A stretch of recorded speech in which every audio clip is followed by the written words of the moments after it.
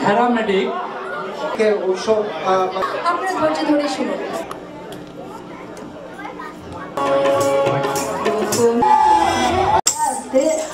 একই সাথে এরপর পরে।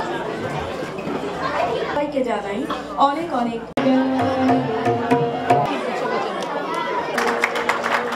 এক্সিলেন্ট করো তাহলে। জোরে একটি তালি।